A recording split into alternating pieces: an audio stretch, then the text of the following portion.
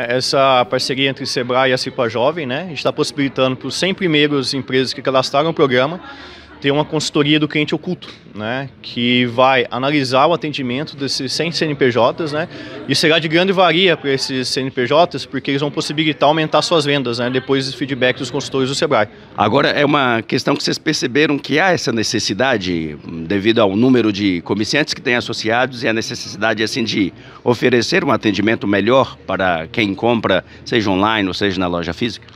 Com certeza, eu acho que é uma dificuldade, um desafio de todas as empresas é o atendimento ao cliente, né? Eu acho que a gente consegue ter uma empresa de sucesso quando a gente tem um atendimento de excelência, né? E muitas empresas às vezes têm dificuldade de entender aonde melhorar. E aí que vem esse programa junto ao Sebrae e a CIPA para possibilitar isso aos associados da CIPA. A gente fala aqui com Pamela Dias, analista do Sebrae. Então é o programa que torna empresas de Pouso Alegre associadas da ACIPA mais digitais. Magson, o que a gente precisa identificar como Sebrae e ACIPA? Primeiro, a experiência do cliente.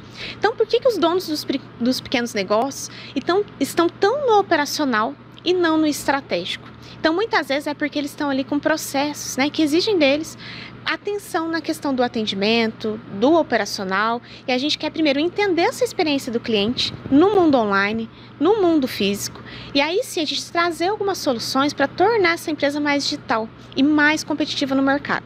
Então a gente entende que às vezes algumas empresas não têm um WhatsApp Business, não têm uma boa gestão de estoque, não entende muito bem ainda do mundo online, então a gente precisa entender primeiro no mundo físico como estão as operações da empresa e principalmente seu atendimento, para aí sim a gente torná-la digital e ela estar mais presente nos marketplaces.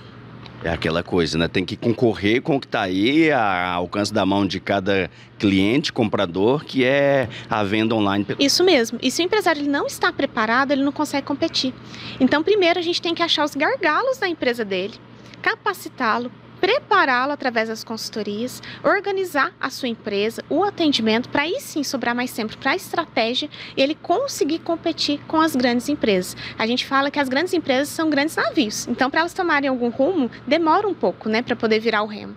Já a pequena empresa, ela é um barquinho. Na hora que ela tem uma estratégia que é eficiente, ela consegue fazer essa estratégia de forma muito mais eficaz, rápida e ter maiores retornos. O Grupo Celinho, ele está há 39 anos no mercado como loja física e agora estamos partindo também para o mundo digital, é onde que a gente esbarra sempre em algumas algumas melhorias que a gente precisa fazer, as coisas não vêm na velocidade que a gente no começo acha que vai vir e é onde que a gente sempre está procurando aqui, ó, a CIPA, o próprio Sebrae para poder melhorar o nosso e-commerce, melhorar as vendas em marketplace. Mas é aquela questão também, ao mesmo tempo que você está nesse online, tem as lojas físicas, né? E essa experiência de quem prefere ir à loja física precisa ser boa para quem vai lá. Exatamente. Hoje a gente tem o público, na verdade, o público para tudo, né? Hoje, hoje o mundo está desse jeito, né? Então tem gente que prefere compras online, né? Mesmo sendo da cidade, ele prefere compras online e tem gente que prefere o atendimento personalizado, um atendimento mais humano, né? Um, um um atendimento presencial. A gente sabe que a loja física é uma extensão do online. Primeiro o cliente ele vai no online saber se você oferta aquele produto, aquele serviço, olhar quem que é o empresário, quem que é a empresa e se desperta o interesse ele vai na loja física. Então ali muitas vezes é o fechamento da compra e é a segurança do cliente. Então a loja física ela nunca vai acabar e ela precisa existir como um ponto de apoio para esse consumidor.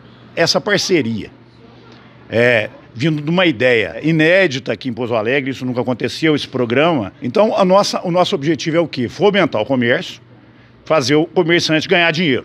Essa parceria é, já está acontecendo e a gente tem certeza que os frutos serão é, de grande valia para todo o comércio de Pouso Alegre e os empreendedores. Agora, uh, o Guilherme já falou aí de que são para 100 é, é, empreendedores nesse primeiro momento, mas o objetivo é crescer ainda mais, ter mais parcerias assim para oferecer para outras pessoas que não não estão participando nesse pr primeiro momento? É, nesse primeiro momento a gente estipulou o número de 100, mas já, olha, ultrapassou, aí a gente não pôde chegar, aí nós vamos fazer uma segunda etapa. Agora, ó, veja bem, nós estamos aqui falando de 1.700 associados Lógico que todos os associados não têm perfil para participar desse programa, mas a maioria sim. Então, aqueles que não são associados, né, procurem a associação, se associem para participar desse programa, que é apenas o primeiro passo. Isso daí a gente vai continuar realizando em parceria com o Sebrae, em parceria com a Cipa Jovem. Enfim, vamos dar sequência em todo essa, esse programa.